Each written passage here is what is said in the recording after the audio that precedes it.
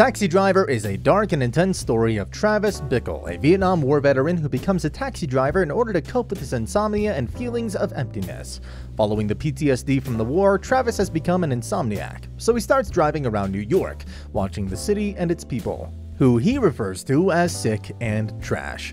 Travis is really disgusted by the filth of the city, which he witnesses every night in the form of crimes, forced prostitution, and much more. Beside all this, Travis has started liking a campaign runner named Betsy, who he has fixated on ever since he saw her. And one day, he walks up to her and asks her out on a date. Travis appears charming, so Betsy agrees to the date, but later regrets it when Travis takes her to an adult movie. Understandably, Betsy gets scared away by Travis, and whatever chance he had with her vanishes away. But that only makes him more obsessed with Betsy and after finally realizing he has no luck with her, Travis decides. Meanwhile, still disgusted by the city and the various counts of prostitution he sees almost every night, Travis dreams of cleaning the city by getting rid of the scum.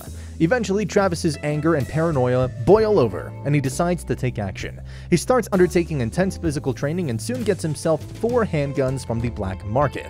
Thanks to the troubling existential crisis and now all the weaponry he has, Travis starts seeing himself as a powerful force that will soon free the city and its people from the plague that has been eating them. In his first act of heroism, Travis shoots and kills a man who's trying to rob a convenience store. One day, Travis meets an underage prostitute named Iris, who he's seen multiple times, and has fantasized about saving her. He tries to persuade Iris into quitting her job and how he can help her, but saving Iris isn't all that Travis thinks of. He wants to do something bigger, and for that he has his eyes set on a presidential candidate named Charles Palantine. One day, Travis cuts his hair into a mohawk and attends a public rally where he plans to assassinate Palantine.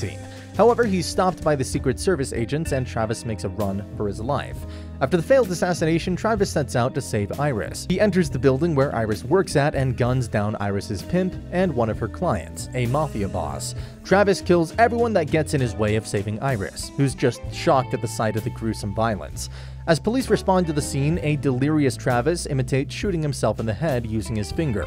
Later, Travis is held as a hero for saving an underage girl from prostitution, and it's not prosecuted for his murders. He even receives a letter from Iris's father thanking him. After recovering, Travis returns to work, where he encounters Betsy as a fare. They interact cordially, with Betsy saying she heard about him in the newspapers. Travis drops her at home and declines to take her money, driving off with a smile. It looks as if everything's fine and Travis is finally at peace, until he sees something in his rearview mirror that agitates him. That's the end of the video. If you enjoyed this short recap of a classic movie, please make sure to like this video and subscribe to the channel for more Minute Recaps.